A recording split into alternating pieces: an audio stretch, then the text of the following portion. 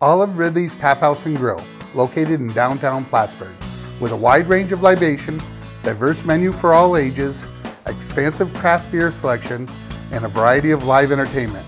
Olive Ridley's, located in downtown Plattsburgh. There's something for everyone.